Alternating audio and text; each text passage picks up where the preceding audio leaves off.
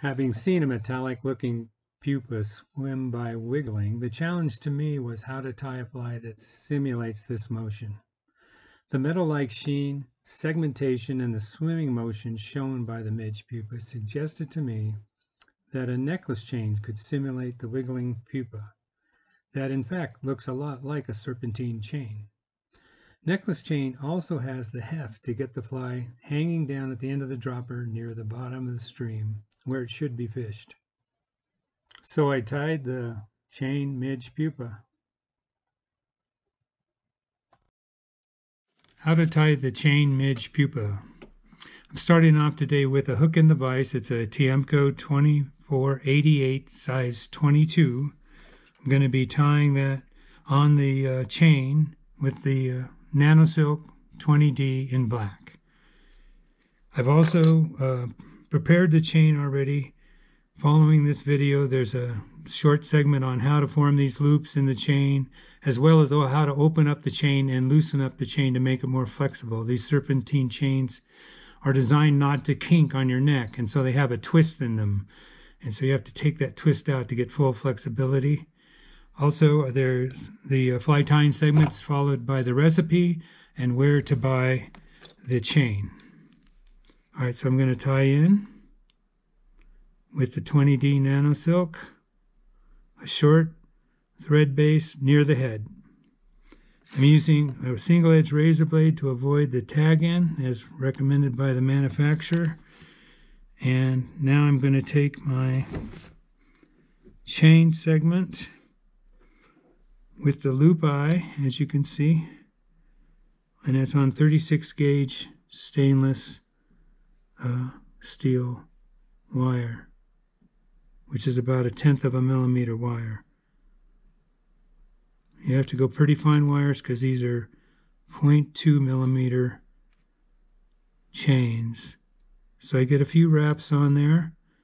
I don't worry about snugging up the uh, loop until I have it in place, but I don't want to over tighten. I have to leave that loop open uh, so there's flexibility and movement between the hook and the chain. And so then I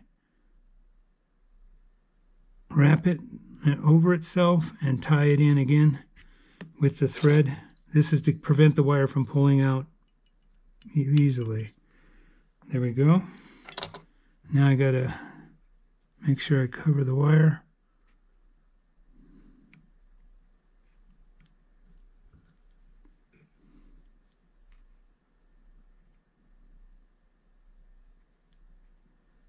in the head forming up a thicker head to look like the pupa with the wing pads. And, okay, now I'm going to whip finish.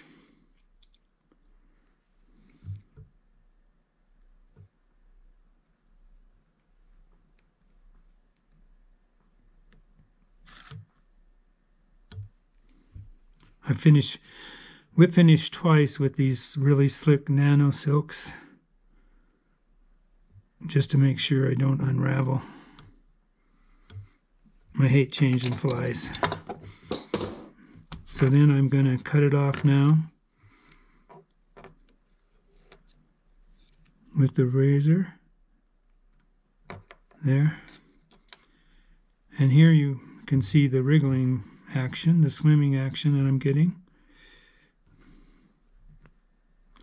But I'm going to cut it off using an old pair of scissors to a reasonable length for a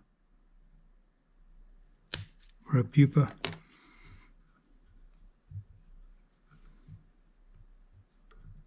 There, you can see it's the swimming action you can get out of these guys.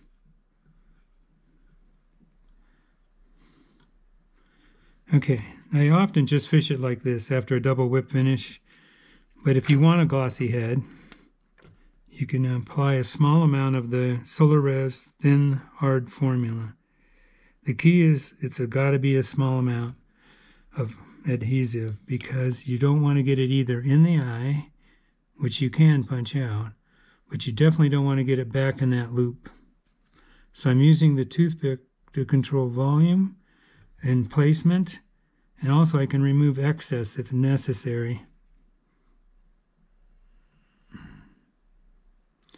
Okay, then to finish with the light, I may have gotten a little cement in there.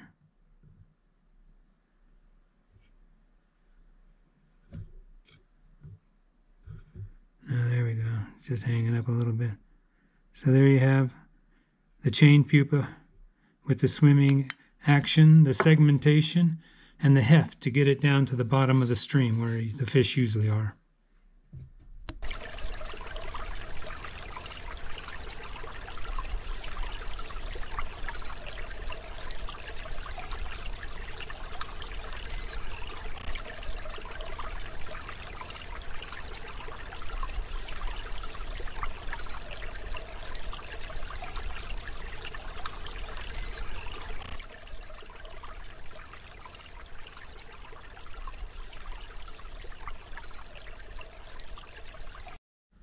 I have to show you another technique um, for tying the chain fly. You can see here, this is a piece of gold wire, the serpentine wire, and you can see that there's a twist in this.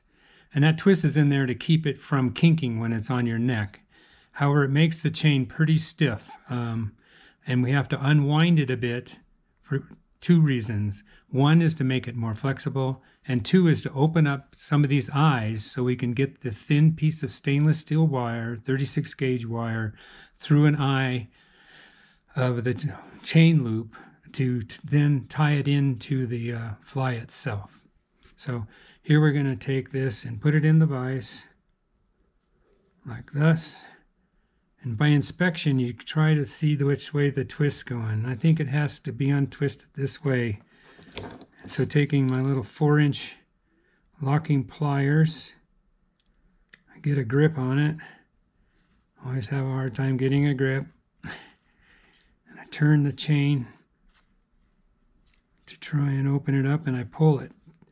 Physically pull on the chain slightly to get those eyes open up in the loops. So then I can thread in the 36 gauge wire. It's a delicate process. These, these are brass chains that are gold plated. And so they are a little tender. But there you can see how much looser this chain has got for this swimming motion that we want on the midge pupa.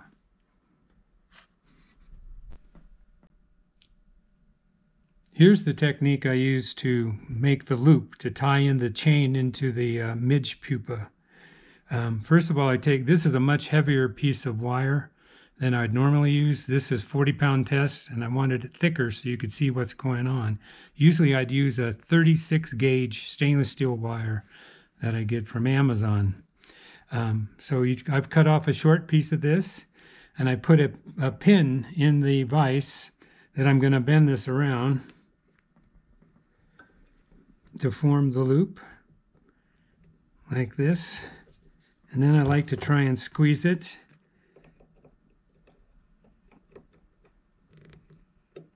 up against the needle to form the loop. Here you can see. So it's a little like two millimeter loop that I'm going to use to thread the chain on and then tie that into the thorax of the fly as you'll see in the fly tying video.